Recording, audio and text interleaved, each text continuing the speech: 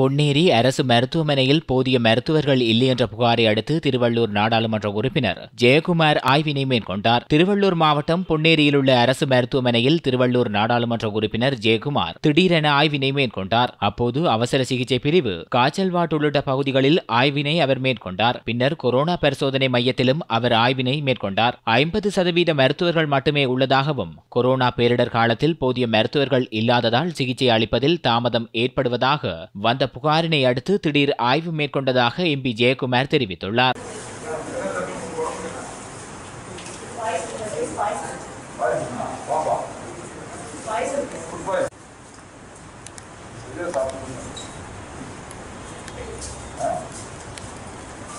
Yeah,